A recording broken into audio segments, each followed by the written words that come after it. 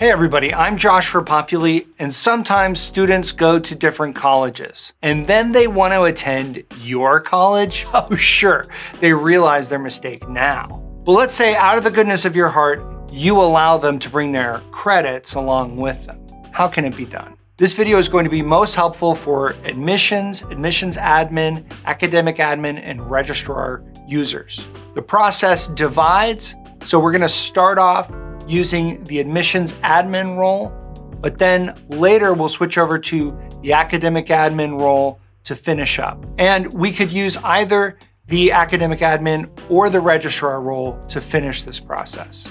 By the way, if you want to go deeper on this feature, we have a great article in the knowledge base linked in the video description. Let's have a look at where this all happens. To add transfer institutions credits and degrees to students, you'll go to a student's profile, to the admissions tab, and click on Other Education. On that tab, you'll see an option to add a transfer institution. Click that. Transfer institutions are either already in the system because students have already attempted to transfer credits from that institution, or quite simply, they are not yet in the system. You can either start typing the name of an existing institution and then select the correct result from the list, or you can input a new institution here. Then you'll fill out the various details here. Field of study is like the student was in the English program at their previous school. Set the time frame for their attendance in this field of study. On the drop down for visibility, this can be everyone or faculty, staff, advisor. Here's what visible to everyone means. If you set this institution as primary, which you can do once you've added the institution by going to the Students Info tab, under Organizations, clicking the three dots next to the org, and clicking Make Primary. Then anyone, other students in particular, will see that org listed under the student's name on their profile. Can show on transcript. In some situations, this will affect whether or not this field of study is listed on a transcript. However, this toggle works independently from the transfer credits that you add to the organization. We'll get to those in a bit. The point is that unless your transcript is customized to show field of study for transfer institutions, this does not affect you.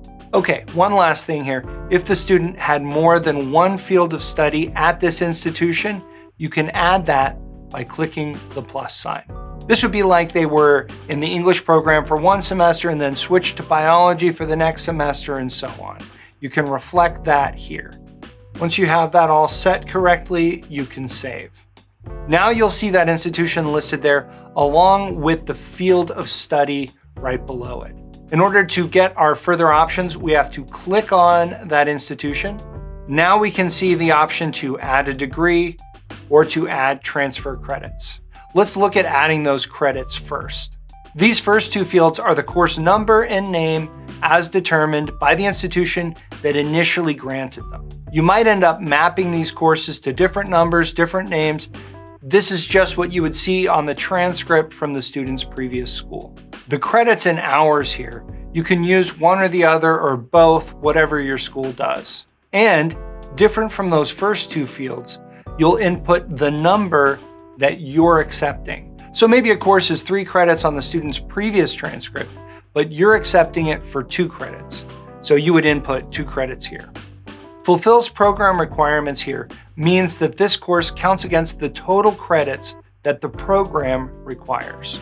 It also means that this course counts against requirements in course groups on the degree audit. If you uncheck this box, you'll show the course on the transcript under a section for transfer credits, but it won't show those courses as attempted or earned. So you're acknowledging the student's work, but it doesn't count towards anything academically.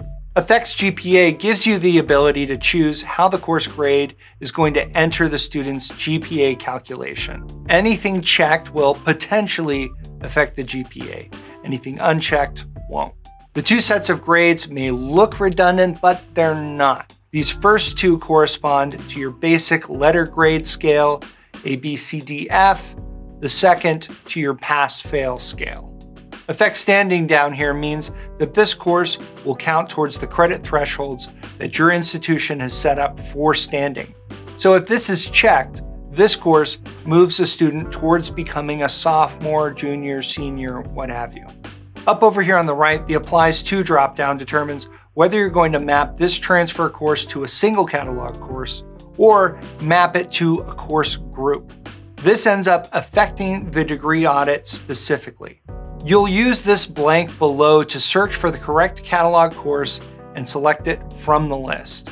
So let's say you have a transcript with English 102 on it like we have here, and you choose to map that course to your school's English 101 course. Anywhere that course might show up on the degree audit as a requirement, this could satisfy it. If you choose to map this to a course group, the transfer course will affect that group generally, instead of standing in for a specific course. So if you map a two credit course to a course group that requires 10 credits, this course will satisfy two of those 10 credits. Okay, moving on, down here, you can enter a description of the course if you like. You don't have to.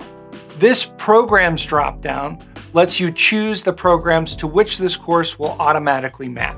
You may remember that programs generally, but not always, correspond to a transcript. So you're typically choosing here on which transcript this transfer credit will show. Let's select one of those. We'll do undergraduate and click add. That's added below. And then we can click on that blank drop down there and choose the correct letter grade. Okay, that's as far as we can go using the admissions admin role. So we'll say so long and we'll pick up with an academic admin user. And at this point, either the academic admin or the registrar roles could complete this task. Okay, let's have a look at status here. So pending shows up here as a status because admissions and admissions admin users will have to leave these credits pending so that they can be vetted and confirmed by an academic admin or registrar user. Of course, rejected means that the course is not approved and is not pending.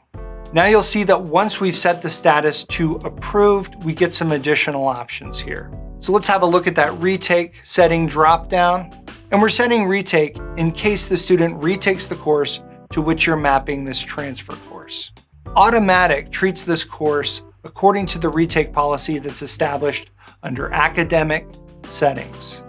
Yes or no lets you manually override your standard retake policy regarding the transfer course. Generally speaking, when you first approve a transfer course, you'll set this to automatic. Later, if you need to change how it works as a retake, you can come back and change it to yes or no. You also have the Show on Transcript toggle here. If you click this, the course and its credits will appear on the transcript. We also have the Is Transfer Student toggle. If that's selected, the student will be considered a transfer student and they'll be tagged as such.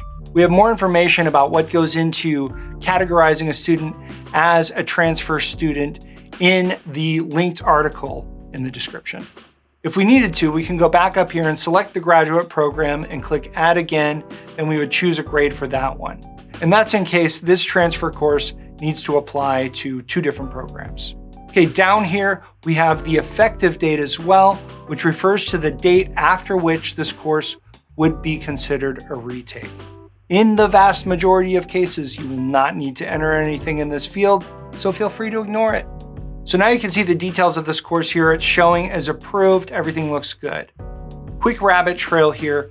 If you have the academic admin or registrar role, you'll be able to pull reports on these transfer credits. This is particularly useful if you need to identify where those pending transfer credits are in an overview. We've added an appendix that deals with this and you can skip there now or just keep watching at the end of the video. Real quick, let's look at adding a degree to an institution.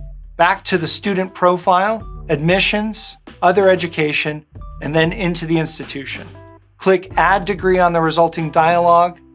You'll set the correct education level, and put the degree name, and then any specializations, things like majors or minors. You can then select the correct program or programs and then add them one at a time. Then you can enter the rest of these details when applicable and choose whether or not this degree should show on the transcript. Then you'll save. And then this is how that'll show up. We've seen plenty, but as we mentioned, we have a helpful article on this, and you'll find that linked in the description. A great way to keep up with updates and improvements to Populi as a software is via our weekly release notes. Those go out on Friday, and you can follow them in our knowledge base. To do that, when you're logged into Populi, click on Help in the upper right hand corner, click Search the knowledge base, then click Release Notes and Announcements. Click on the heading for Release Notes and click Follow. You'll receive an email when we post release notes there, and that'll keep you on the bleeding edge of Populi features and improvements. Let's look at reporting on transfer credits and specifically finding pending transfer credits. You'll go to Academics, Reporting, Transfer Credits. We end up on this table with the student, the institution, and especially the status. You want to pull up all of those pending transfer credits. So up in the filter here, you'll click on Choose a Condition, set it to Status, set Status to Is Pending, and then click Add. And then you'll apply the filter. You'll see those pending transfer courses there. You can go to the student, to those credits, and review and adjust them.